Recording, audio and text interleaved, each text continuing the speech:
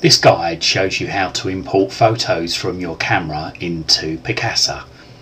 If you haven't got Picasa installed in your system at present, you can see my previous guide which tells you how to download Picasa from www.picasa.com and install it to your computer. Firstly, if you're using Windows 8 or Windows 8.1 and you're working from the start screen, you can launch Picasa in one of two ways. Either by typing Picasa from the start screen and then clicking on Picasa from the right hand side of the screen. Or you can move your mouse over the desktop tile, left click the desktop and then double left click the Picasa icon on the desktop. If you're using any other version of Windows, you should already be in the desktop and therefore should be able to click Picasa from the desktop. Once again, just double left click Picasa. Picasa appears on the screen. The next thing you need to do is once Picasa's up on the screen is plug in your camera. Once your camera is plugged into the computer you need to click on import in the top left hand corner of the screen.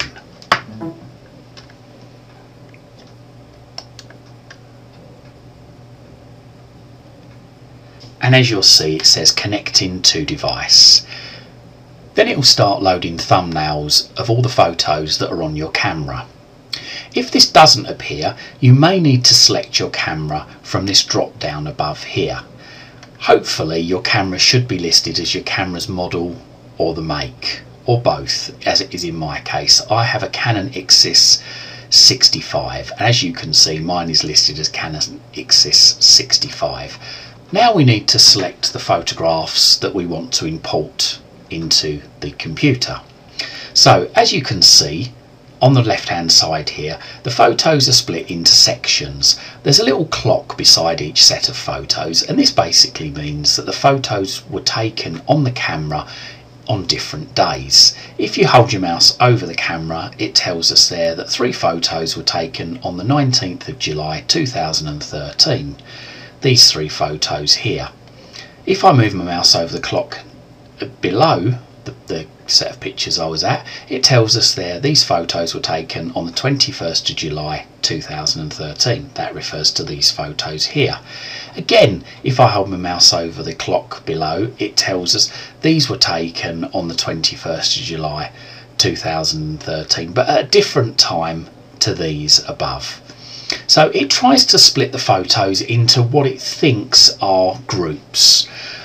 If you want to select just the photos in that group to put into a certain folder, we can click once on the clock and as you can see it highlights the photos. If we want to select more photos we can just keep clicking on the clocks and that highlights even more photos. So for instance these photos here are of a holiday in Turkey so therefore what we need to do is we need to tell Picasa exactly on the computer where we want to store these photos. All we do is we want to tell Picasa that we're going to import the photos into the My Pictures or the Pictures folder on our computer. That's already pre-selected for us there so we don't have to do anything here and we have to give the folder a name. In this case as these pictures that I've selected here are of my holiday in Turkey last year, I'll type the folder title as Turkey 2013.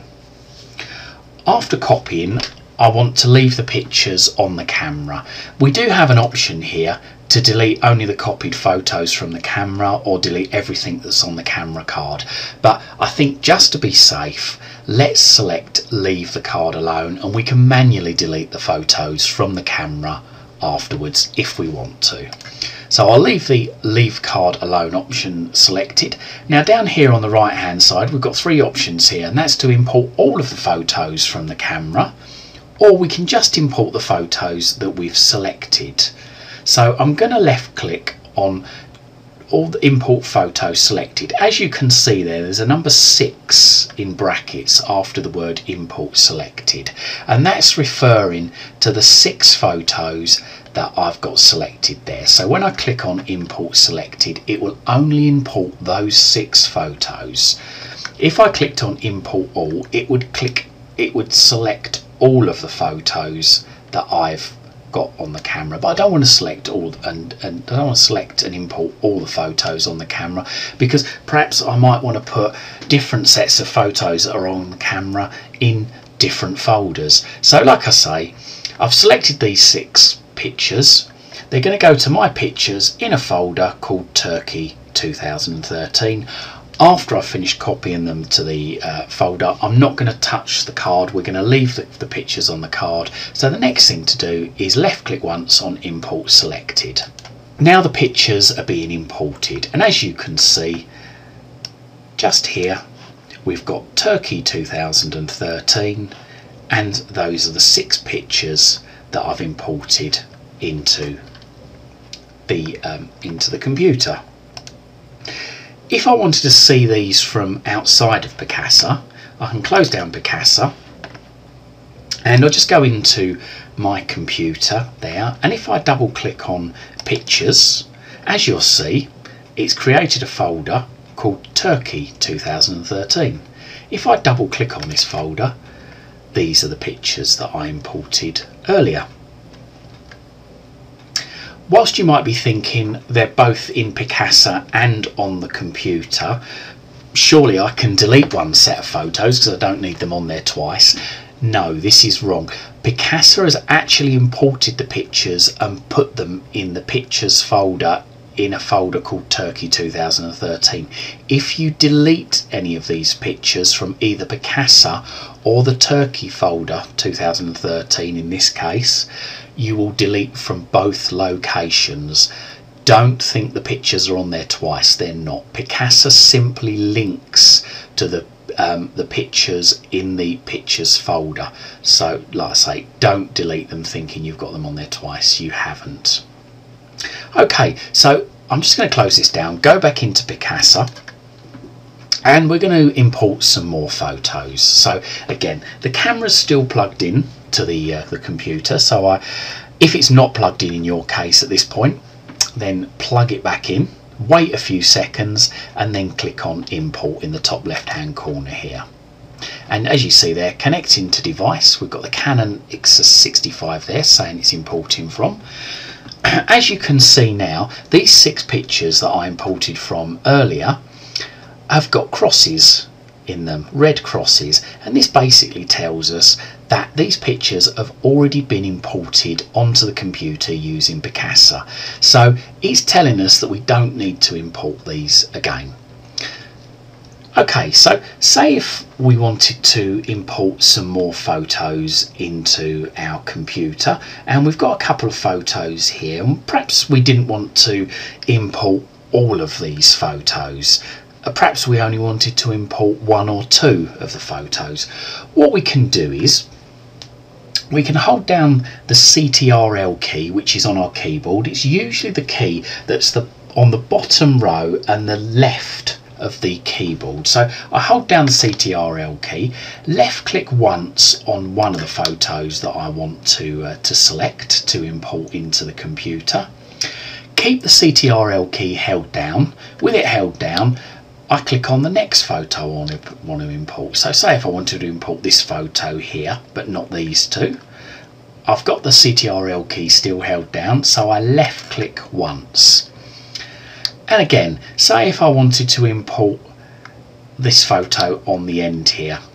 Again, I've still got the CTRL key held down, so I left click on that photo once. Okay, now I can let go of the CTRL key. Now once again it's going to import the pictures into my pictures on the computer and we need to give the folder that we're going to import these to a title. So in this case these photos were taken in France. So if I give the folder title a name France and they were last they were in 2013 these were taken. So I type France 2013 and again I want to leave the pictures on the card. I don't want to delete the copied photos or delete everything else on the card. I'm going to leave it alone. And down in the bottom right hand corner here I've got again options here to import all the photos well I don't want to import all of them I only want to import the three here that I've selected the ones with the blue highlights around them. So as you can see there I've got import selected and the number three after them. That confirms that I'm only importing three of the photographs. So I'm going to click on import selected. So as you can see those three pictures have now been imported into Picasa. And again, if I close down Picasa and go into the pictures folder, on my computer. If you're using Windows XP this might be referred to as My Pictures and some older programs may also refer to it as My Pictures in Windows Vista, Windows 7, Windows 8 and Windows 8.1. So I double click on Pictures and as you can see now there's a France 2013 folder there. Double click on the folder and there we have thumbnails of the pictures. If I double click on any of those pictures it will actually open them up in a larger view for, for me to view. There we go, there's that picture. Lovely looking fella there. Okay, I'm going to come out of, uh, out of that and go back into the desktop. Close down this and we'll open up Picasa again. And I want to import a few more pictures into the computer. So once again, I've got the camera plugged into the computer. Again, if you haven't got your camera plugged in, plug it in now wait a few seconds, perhaps 5-10 seconds, and then click on the import button. And hopefully it should automatically find the camera. So there you go, it's saying that it's importing from the Canon Ixus 65. Okay, so as you can see from here, these three pictures from France have um, have been uh, have a cross through them to tell me that I've um, already imported them to the computer. Now, say if, for instance, I wanted to import these other photos here, here and here that I haven't imported already, which are to do with France, and I've thought, yeah, maybe I will import them now. Again, I can hold down the CTRL key, select the first picture, keep the CTRL key held down, highlight the second picture by left clicking on it, hold down the CTRL key again and left click the third picture and again hold down the CTRL key and left click the fourth picture. Now these photos are, part of the France 2013 collection. I want to add them to the France 2013 folder. So if I type in the folder title France 2013 okay you'll notice that down here it's not letting me import the selected. That is grayed out. Right this is basically because we already have a folder called France 2013 and this section here wants us to create uh, it gives us the opportunity to create a folder. Now it's refusing to do that because we've already got a folder called France 2013 so in this case what we need to do is we need to click on the arrow next to my pictures and as you can see there's the France 2013 folder just there. So we can select that and then delete France 2013 from the folder title and now we can click on import selected.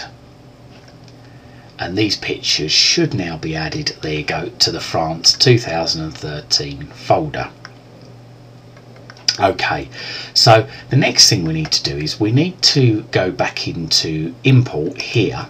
And the reason we need to go back into import is we just need to make sure that this import to has returned back to my pictures. And as you can see it has returned back to my pictures. So that's fine. That's absolutely fine. Now any of these photos here if we're not sure if we can't see them via their thumbnails if the thumbnails are too small and you want a quick preview to see if these pictures are part of a collection that you want to, to add to, what you can do is you can left click once on the picture and it will give you a preview on the right hand side there of the uh, of the photo just so that you can see before you go to import it you can see if this is the, the, the photo that you want. And these pictures here like I say one more time as a, a last example these pictures were um, from the Dominican Republic so again if I want to to select those pictures to do with the Dominican Republic I can hold down the CTRL key keep it held down and select the photos that I want to put as the Dominican Republic in the Dominican Republic folder. Okay, so we're going to click in folder title and I'm going to call it Dominican 2013. Okay, we're going to leave the card alone and oh, I've just noticed here import selected and import all are greyed out. Aha. Right, I've just realised why. It's probably because I've already got a Dominican 2013 folder on the system. And to check that, I'm just going to click on the arrow next to my pictures. And no, it's not showing there. So, where is it?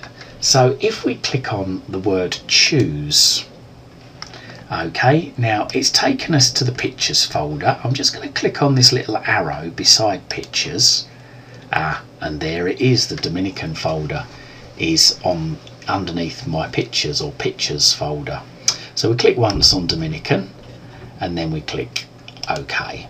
And as you can see now, Dominican is now in the import to drop down.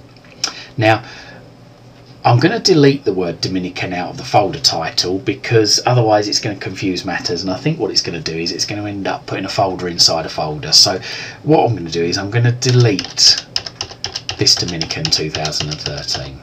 Okay, I'll delete that and now as you can see here I can now click import selected. So I'm just going to do that. We'll click import selected and hopefully these pictures should be added to the Dominican 2013 folder. And yes they are. There we go. And we can double check this on the computer that they've gone into the Dominican 2013 by closing down Picasa again clicking on our folder down the bottom here double clicking pictures and double clicking on the Dominican 2013 folder. And there we go. There's all the photos in there once we've finished importing, then we can disconnect the camera. Now, the best way to disconnect your camera is to move your mouse down to the arrow just by the clock. Okay, you'll see this little green tick down here. Right click on the green tick and look out for for your camera's name which is just here. Mine's Canon Ixus 65 yours might be something different.